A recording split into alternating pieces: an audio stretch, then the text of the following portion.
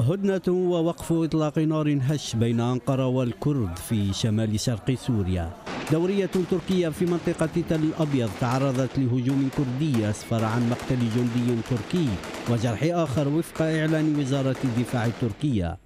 هدنة متوترة سبقها تعهد الرئيس التركي رجب طيب إردوغان لسحق رؤوس المقاتلين الكرد ما لم يخرجوا من المنطقة العازلة. Kaldığımız yerden devam eder.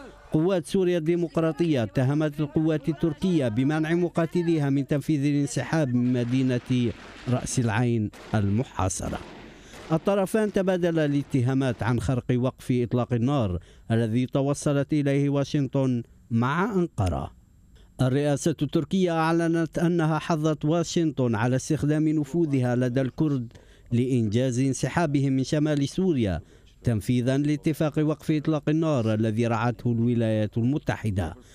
تزامنا مع ذلك أعلن وزير الدفاع الأمريكي مارك إسبر أن الجنود الأمريكيين الذين انسحبوا من شمال شرق سوريا سينتقلون إلى غرب العراق.